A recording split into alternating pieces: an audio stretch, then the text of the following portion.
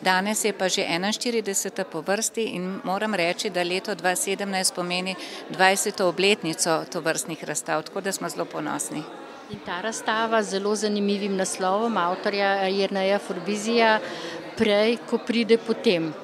Ja, to je mogoče malo izzivalna ta razstava, ker nekako nam nalije čistega vina, kako delamo z naravo.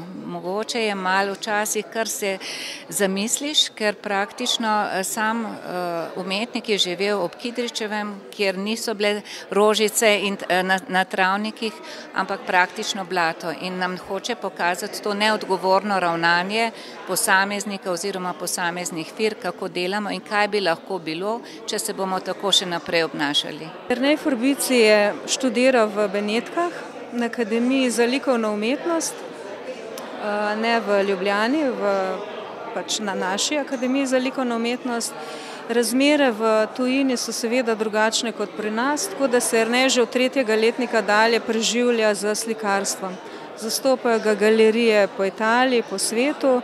Njegova tematika v slikah pa je, so angažirane informacije o tem, kako človek uničuje naravo, s čimer se je on srečal že kot otrok v strnišču pri Kidričevem, odkot je doma, kjer so v bližnji tovarni v naravo, okolici njihovega doma, tako rekoč, odlagali rdeče blato, boksit. Proučuje tudi ekološka, da rečem ekološka gibanja druge, drugod po svetu, kako se uspešno zoprstavljajo uničevanju narave.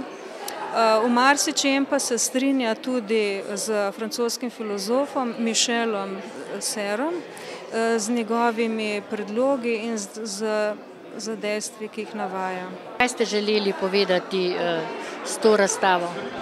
Ja, ta razstava je uh, sicer malo specifična, ker pač ni ne omogoča neke velike svobode pri izbiri formatov. Jaz ponovadi slikam mnogo večje slike, tako da se moram nekako prilagoditi uh, tem prostorom.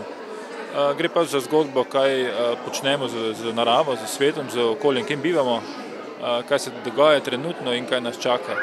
Gre pa za en pregled zadnjih sedmih let dela, gre predvsem na papirju, pa tudi nekaj platno. Vse ste že razstavljali? Oh, težko rečem.